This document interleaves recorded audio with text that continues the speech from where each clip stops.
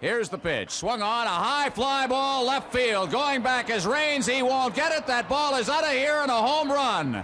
Steve Garvey has given the Dodgers a 3 to 1 lead with a two run homer here in the eighth inning. Garvey just teed off on a fastball by Bill Gullickson, and the Dodgers lead by two.